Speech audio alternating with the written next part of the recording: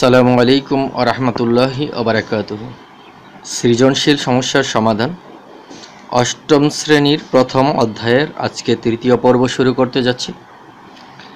তৃতীয় পর্বে আমি যে- যে সৃজনশীল সমস্যাটি নিয়েছি, সেটি একুশ, উনতিরিশ সাঁত্রিশ পঁয়তাল্লিশ, তিপ্পান্ন, এভাবে আরও সংখ্যা আছে।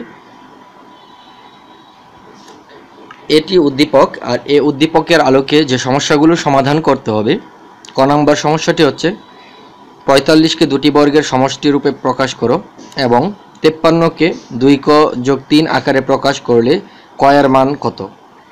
খ নম্বর সমস্যাটি হচ্ছে তালিকার পরবর্তী চারটি সংখ্যা নির্ণয় করো এবং গ নম্বর সমস্যাটি হচ্ছে তালিকার প্রথম ষাটটি পদের যোগফল নির্ণয় করো।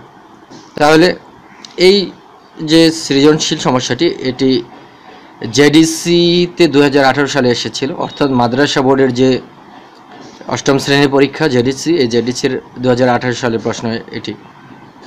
আমরা চলে যাচ্ছি ক নম্বর সমস্যার সমাধানে। ক নম্বরে বলেছে, পঁয়তাল্লিশকে দুটি বর্গের সমষ্টি রূপে প্রকাশ করো। প্রথমে আমরা পঁয়তাল্লিশকে দুটি বর্গের সমষ্টি রূপে প্রকাশ করব। সেটি কীভাবে করব আমরা দেখি। প্রথমে আমরা লিখতেছি ক নম্বর সমস্যার সমাধান।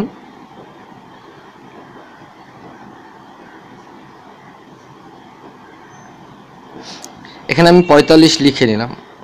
পঁয়তাল্লিশকে দুটি বর্গের সমষ্টি রূপে প্রকাশ।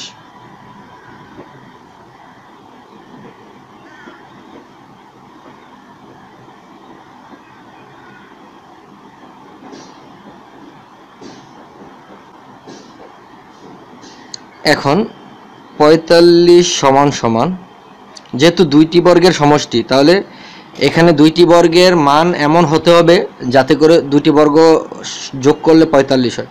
এখন আমি এখান থেকে যদি এক স্কোয়ার নিই, তা এককে স্কোয়ার করলে এক গুণন এক, তাহলে এক হয়। পঁয়তাল্লিশ থেকে যদি আমি এক বাদ দিই চুয়াল্লিশ, চুয়াল্লিশকে কোনো বর্গে প্রকাশ করা যায় না।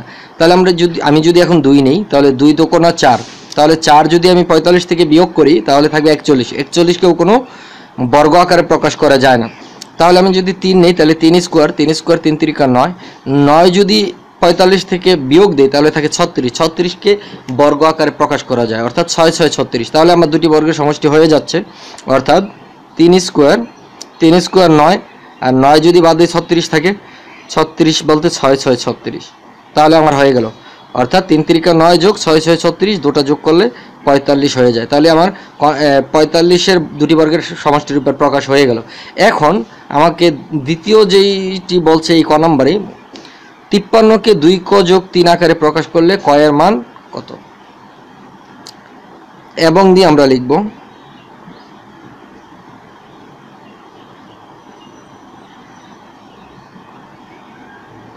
দুই ক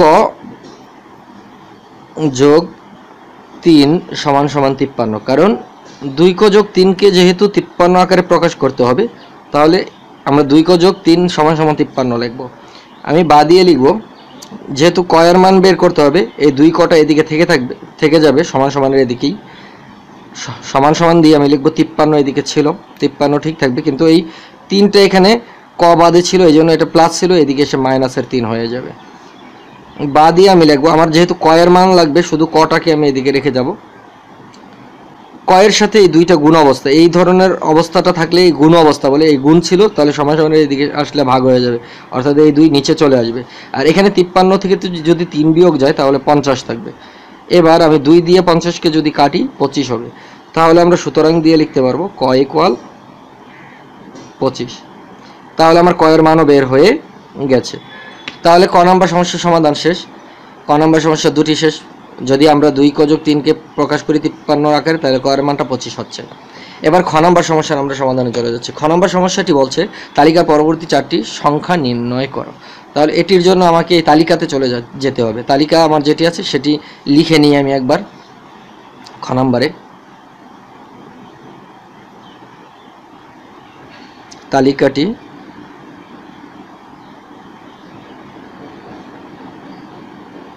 তালিকাটি কি আছে আমার? তালিকাটি ছিল একুশ, উনতিরিশ সাঁত্রিশ পঁয়তাল্লিশ এবং তিপ্পান্ন। তাহলে এটিকে আমি লিখব। একুশ, উনতিরিশ সাঁত্রিশ পঁয়তাল্লিশ, তিপ্পান্ন এভাবে আরও সংখ্যা। এখন আমরা দেখব যে পার্থক্য কি আছে। আমাদের এই সংখ্যাগুলির মধ্যে পরস্পর পারস্পর পার্থক্যটা কত? তাহলে লিখে নিচ্ছি পার্থক্য। আমরা যদি পার্থক্য দেখি, এই দুইটার পার্থক্য, অর্থাৎ উনত্রিশ থেকে একুশ বিয়োগ দিলে হয় আট। আবার আমরা যদি এই দুইটার পার্থক্য দেখি, তাহলে দেখব সাঁত্রিশ থেকে উনত্রিশ বিয়োগ দিলে তাও আট হয়।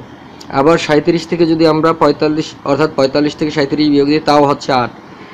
আবার তিপ্পান্ন থেকে যদি পঁয়তাল্লিশ বিয়োগ দিই, তাও হচ্ছে আট।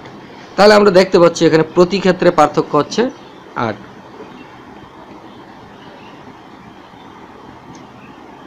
এখানে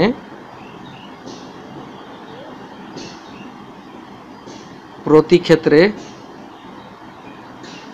পার্থক্য আট তার মানে দাঁড়াচ্ছে যে একুশ থেকে আট বেশি উনত্রিশ উনত্রিশ থেকে আট বেশি সাঁত্রিশ সাঁত্রিশ থেকে আট বেশি পঁয়তাল্লিশ পঁয়তাল্লিশ থেকে আট বেশি তিপ্পান্ন।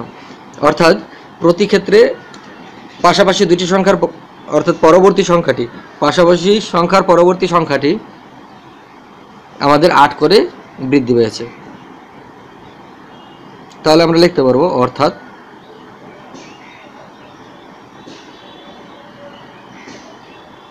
পরবর্তী সংখ্যাগুলো আট করে বৃদ্ধি পেয়েছে।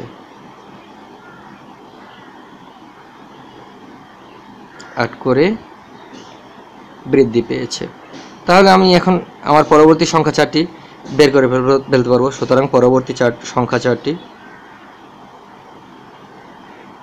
পরবর্তী সংখ্যা চারটি। এখন সংখ্যা চারটি বের করার জন্য আমাকে যেটি করতে হবে, সর্বশেষ সংখ্যাটি নিতে হবে। হচ্ছে লিখে দিই। প্রথমে আমি তিপ্পান্ন নিব। যেহেতু শেষ সংখ্যা এর পরের সংখ্যাটা বের করতে হবে, তাহলে এটার সাথে আট যোগ হবে। তো তিপ্পান্নর সাথে আট যোগ করলে একষট্টি হয়। এবার একষট্টি এখানে চলে আসবে। একষট্টির সাথে আবার আট যোগ করব এরপরের সংখ্যাটা বের করার জন্য। তাহলে হবে উনসত্তর এবার উনসত্তরকে আবার এখানে নিয়ে আসব, এটির সাথে আট যোগ করব, এরপরে সংখ্যাটা বের হবে। তাহলে হবে এটি সাতাশি। এবার সরি আট, নয়, সতেরো হ্যাঁ সাতাশি সাতাত্তর। সাতাত্তর, এবার সাতাত্তরকে এখানে নিয়ে আসব, সাতাত্তর যোগ আট। এবার যদি যোগ করি, পঁচাশি। তাহলে আমাদের পরবর্তী চারটি সংখ্যা হচ্ছে একষট্টি উনসত্তর সাতাত্তর এবং পঁচাশি। সুতরাং নির্ণয় পরবর্তী সংখ্যা চারটি। নির্ণয় পরবর্তী সংখ্যা চারটি। আমরা এখন লিখব একষট্টি, উনসত্তর এভাবে। একষট্টি, উনসত্তর, সাতাত্তর, পঁচাশি। তাহলে আমাদের খ নম্বর সমস্যার সমাধান হয়ে গেল। এবার আমরা গ নম্বর সমস্যায় চলে যাব। গ নম্বর সমস্যাটিতে বলছে, তালিকার প্রথম ষাটটি পদের যোগফল নির্ণয় করো। এটি আমার বের করার জন্য প্রথম পদ লাগবে এবং সাত নাম্বার পদ লাগবে। কারণ আমরা জানি যে তালিকার যদি কোনো সমষ্টি বের করতে হয়, প্রথম পদ যোগ শেষ পদ গুণন পদ সংখ্যা বাই দুই। সমষ্টি নির্ণয়ের সূত্র বা যোগফল নির্ণয়ের সূত্র। এক্ষেত্রে আমাকে প্রথম পদ জানতে হবে। তাও প্রথম পদ যেহেতু একুশ এখানে আছে, আমার প্রথম পদ আর বের করা লাগতেছে না।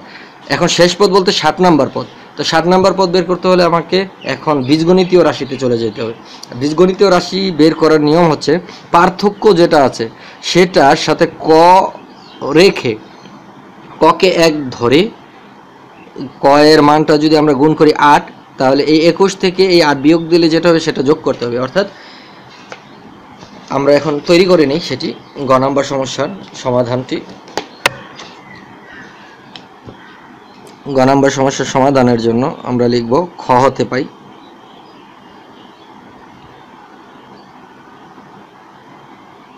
খ হতে পাই প্রতি ক্ষেত্রে পার্থক্য।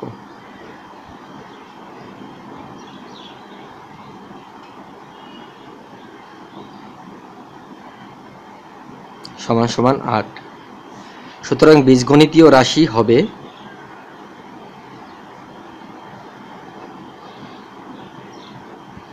বীজগণিতীয়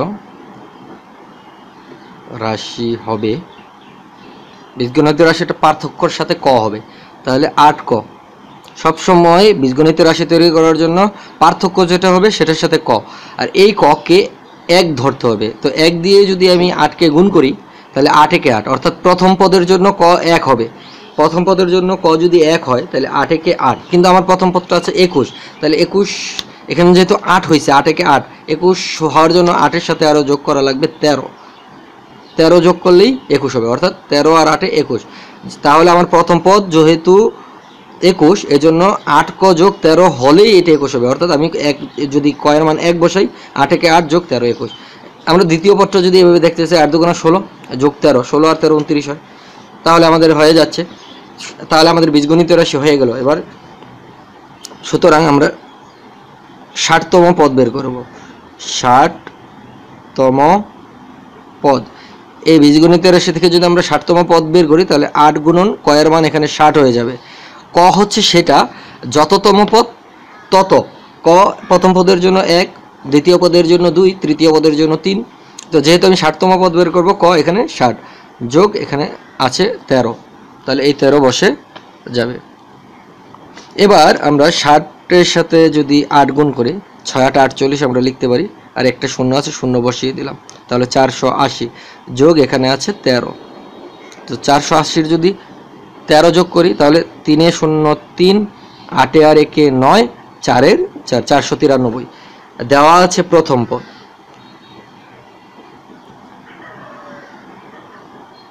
দেওয়া আছে প্রথম পদ। কত? একুশ। এবার আমরা সমষ্টি বের করে ফেলব। সুতরাং সমষ্টি। আমরা সূত্র চলে যাব। সমষ্টির সূত্রটা হচ্ছে প্রথম পদ যোগ শেষ পদ। ইন্টু পদ সংখ্যা পুরোটার উপরে ভাগ হচ্ছে দুই। এটি হচ্ছে সমষ্টির বা যোগফলের সূত্র। এখন আমরা প্রথম পদকে বসিয়ে দিব। প্রথম পদ আমাদের জানা আছে একুশ যোগ। শেষ পদ আমরা বের করেছি চারশো তিরানব্বই। ইন্টু পদ সংখ্যা যেহেতু ষাটটি পদের সমষ্টি বলছে, তাহলে পদ সংখ্যা হচ্ছে ষাট ভাগ হচ্ছে দুই সূত্রের। দুই দিয়ে আমরা ষাটকে কাটতে পারি তিরিশ বার। এবার এটা যদি যোগ করি একে আর তিনে চার, দুই আর নয়ে এগারোর এক হাতে থাকে এক। চারে আর একে পাঁচ, পাঁচশো চোদ্দ, আর এটার সাথে গুণ হবে তিরিশ। আমরা যদি তিরিশকে গুণ করি, শূন্যটাকে প্রথমে বসিয়ে দিলাম। তিন চারে বারোর দুই, তিন চারে বারোর দুই, হাতে থেকে এক তিন একে তিন, আর হাতে রেখে চার, তিন পাঁচা পনেরো। তাহলে পনেরো হাজার চারশো বিশ। সুতরাং নির্ণয় যোগফল আমরা লিখব। সুতরাং নির্ণয় যোগ ফল পনেরো হাজার চারশো বিশ। তাহলে আমাদের গ নাম্বার সমস্যার সমাধানও হয়ে গেল। আশা করি তোমাদের বুঝতে সমস্যা হবে না বা সমস্যা হয়নি, যদি হয়ে থাকে অবশ্যই আমাকে কমেন্ট করে জানাবে। আমার ভিডিওটি যদি ভালো লাগে অবশ্যই লাইক কমেন্ট করবে এবং শেয়ার করবে বেশি বেশি। আমার চ্যানেলটি সাবস্ক্রাইব করবে এবং আমার পরবর্তী ভিডিওগুলির নোটিফিকেশান পাওয়ার জন্য বেল বাটনে বেল বাটনে ক্লিক করবে। তোমার বন্ধুবান্ধবদেরকে এই চ্যানেলটি সম্পর্কে অবগত করবে। সকলের সুস্বাস্থ্য কামনা করে, সকলের মেধা যেন আল্লাহ আরও বৃদ্ধি করে দেয়, এই দোয়া কামনা করে শেষ করছি। আসসালামু আলাইকুম রহমতুল্লাহি আবরাকাতহ